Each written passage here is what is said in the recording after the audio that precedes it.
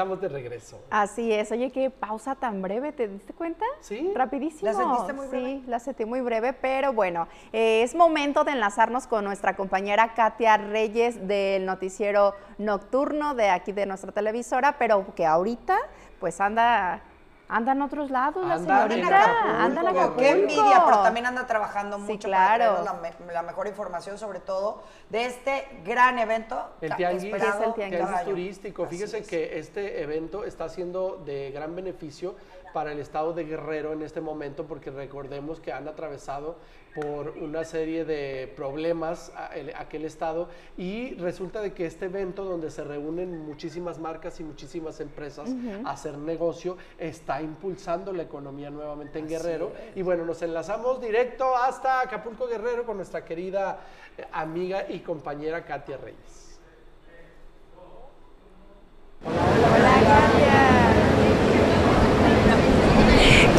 Compañeros, bienvenidos al stand de Canal 13. Aquí miren, tengo dignos representantes de Jalisco. Ellos son parte del Ballet México Folclórico que viene aquí al pabellón de Jalisco a hacer sus demostraciones, a llenarlo de nuestra cultura folclórica y vaya que lo han llenado porque de verdad se ha visto muy bonito. De pronto suena Guadalajara, Guadalajara, esta canción tan emblemática que se escucha en todo el recinto. Y claro, es porque los chicos nos están dando sus demostraciones. Pero hoy quiero platicarles acerca de cómo se ha vivido este tianguis turístico, ya que el día de ayer fue el primer día que oficialmente se elaboró aquí en el recinto y vimos a las autoridades de los 32 estados, de las 32 entidades federativas, trabajando, haciendo vinculaciones, haciendo alianzas, firmando acuerdos y les quiero platicar de dos eventos que se llevaron a cabo muy importantes en este tianguis el día de ayer, que fue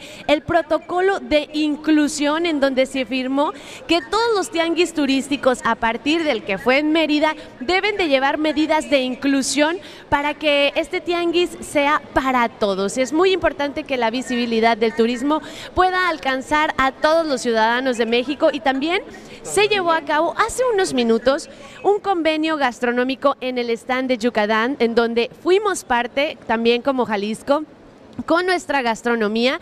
Y bueno pues la intención es dar a conocer en todo México y el mundo nuestros platillos que nos hacen únicos. Si bien la comida mexicana sabemos que se puede llegar a parecer porque nos encanta ponerle tortillas y limón a todo sabemos que cada estado le pone su toque así como en los trajes típicos en los bailables en los colores y en todo lo que representa México chicos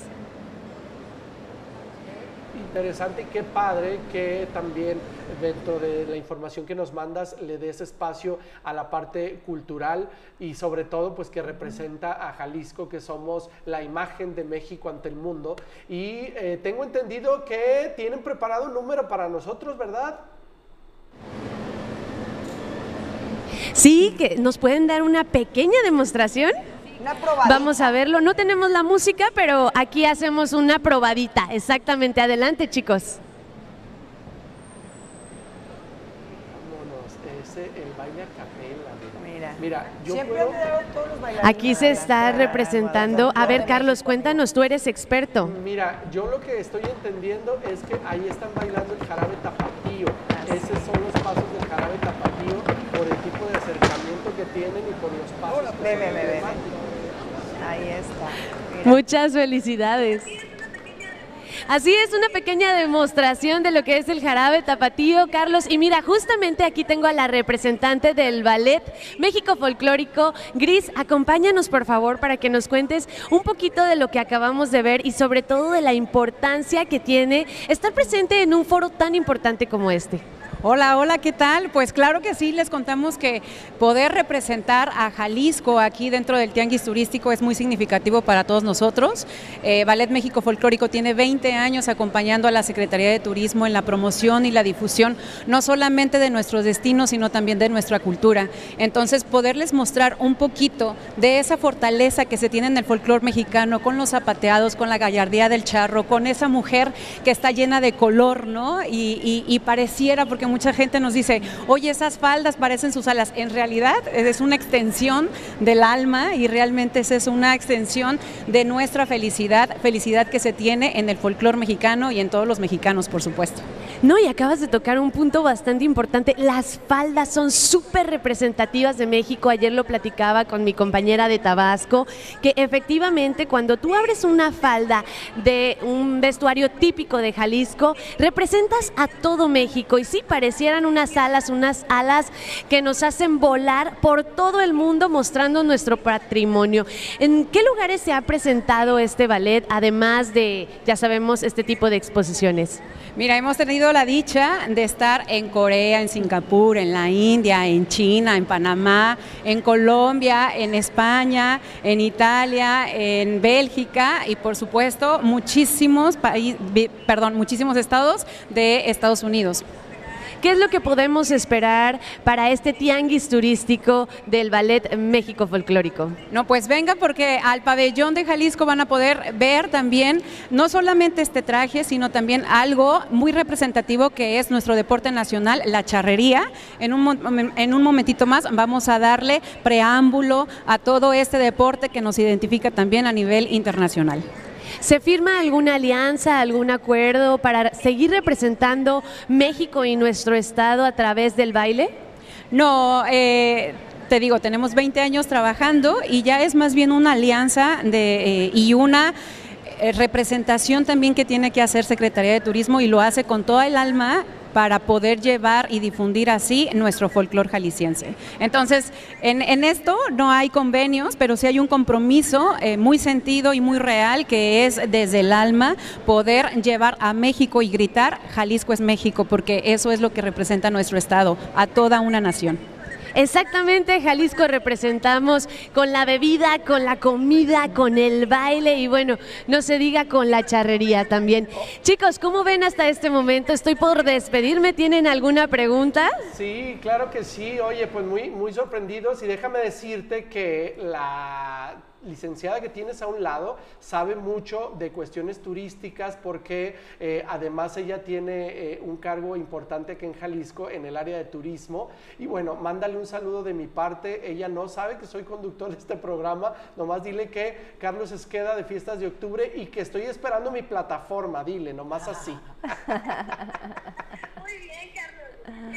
Bien, Carlos. Mira, justamente estamos platicando con uno de los conductores, está Nash Derwes, Carla Jiménez y por supuesto Carlos Esqueda, que te manda muchos saludos, pero también una encomienda. Me dice que Fiestas de Octubre, que son una de las fiestas más importantes que se celebra en Jalisco, está esperando su plataforma, ¿eh? Ay, pues nosotros encantados. Nada más estamos esperando un escenario para poder bailar y representar nuestros trajes, nuestra tradición. Entonces, encantados de la vida de estar por allá.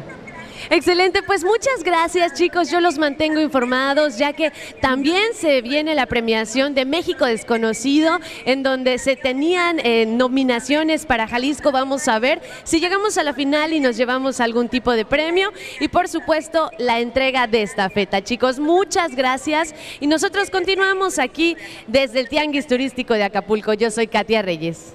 Un placer, gracias. para todos allá que seguir el cierre de este tenis turístico que se puso bueno. ¿eh? Ya sé. Luego lo acompañamos. Deberíamos de ir. Deberíamos de estar por allá en este momento. Hay que hablar con los altos. El año que entra vamos a estar ahí. ya Yo hablo con los altos ejecutivos. Oye, Katia mencionaba sobre la charrería, la gastronomía, decía que a la comida se le acompañaba con cebollita y limón, pero se le olvidó mencionar el picante.